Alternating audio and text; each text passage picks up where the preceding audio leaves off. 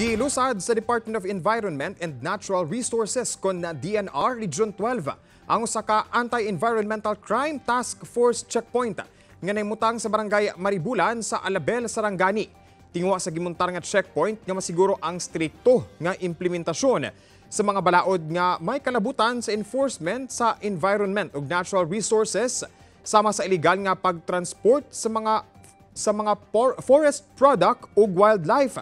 Dungan ini, gipunto sab sa DNR Region 12 ang importansya sa pagsiguro nga ma-update sab ang kapasidad sa ilang mga personahe pagabot sa enforcement sa environmental laws nga makatabang sab sumala pa aron nga mas mapaduol ang katawhan sa kinaiyahan. Gawa sa Alabel, target sab nga butangan sa samang checkpoint ang munisipalidad sa Malungon aron nga ma-regulate ang mga gaagi sa mong area gikan sa ubang pang probinsya o rehiyon.